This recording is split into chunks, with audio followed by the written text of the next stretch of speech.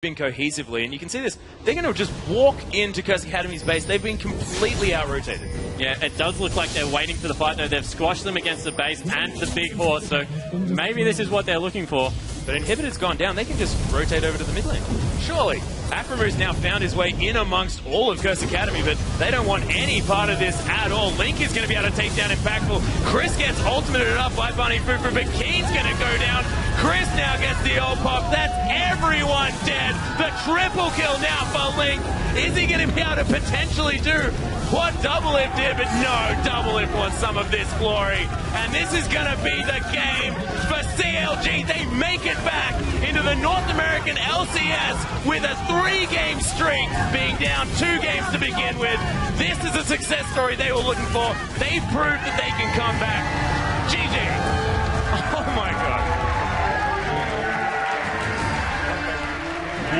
Matchup. CLG able to turn it around and do the seemingly impossible, coming back from two games down.